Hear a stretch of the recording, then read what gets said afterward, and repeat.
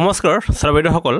সদৌ অসম কৰ্মচাৰী পৰিষদৰ ফালৰ পৰা এক শেহতীয়া প্ৰেছ বিজ্ঞপ্তি প্ৰকাশ পাইছে আৰু যিটো আমি পোনে পোনে আপোনালোকৰ মাজলৈ লৈ আহিছোঁ।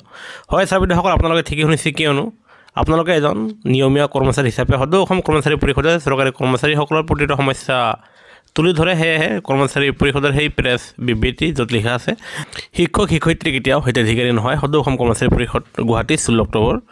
ৰাজ্যৰ মাননীয় মুখ্যমন্ত্ৰীয়ে চৰকাৰী শিক্ষক শিক্ষয়িত্ৰীসকলক হিতাধিকাৰী বুলি অভিহিত কৰা কাৰ্যক সদৌ অসম কৰ্মচাৰী পৰিষদে গভীৰ উদ্বেগ প্ৰকাশ কৰিছে। কাকতলৈ প্ৰেৰণ কৰা এক বিবৃতিত পৰিষদৰ সভাপতি দীপেন শৰ্মা আৰু সম্পাদক প্ৰধান দিলীপ কলিতাই কয় যে যোৱাকালি ৰাজ্যৰ মাননীয় মুখ্যমন্ত্ৰী মহোদয়ে এক চৰকাৰী কাৰ্যসূচীত অংশগ্ৰহণ কৰি তেজপুৰত সাংবাদিকসকলৰ আগত বক্তব্য ৰাখি শিক্ষাগুৰুসকলক চৰকাৰৰ হিতাধিকাৰীৰ লগত তুলনা কৰা কাৰ্য গ্ৰহণযোগ্য নহয়। শিক্ষাগুৰুসকল আমাৰ নমস্য।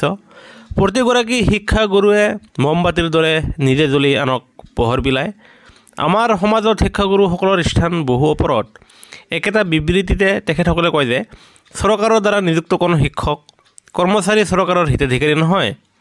প্ৰতিজন শিক্ষক কৰ্মচাৰীয়ে নিজৰ যোগ্যতাৰ বলত নিযুক্তি পায়। ৰাজনৈতিক ব্যক্তিৰ দয়াত নহয়। এনেধৰণৰ তৰল মন্তব্যই ৰাইজৰ শিক্ষা ব্যৱস্থা উন্নত নকৰে। বিগত বহু বছৰ ধৰি ৰাজহুৱা শিক্ষা ব্যৱস্থা অৱদমনৰ এনে পৰিৱেশে অৰিহণা যোগাইছে। শিক্ষকৰ ৰাজহুৱা অপমান সমাজত শিক্ষকসকলৰ প্ৰতি অনাস্থা সৃষ্টি কৰা একত্ৰীকৰণৰ নামত হাজাৰ হাজাৰ বিদ্যালয় বিলুপ্তিকৰণৰ ৰাজহুৱা শিক্ষা ব্যৱস্থা নিশকতীয়া কৰাই সম্ভাৱনাই প্ৰবল।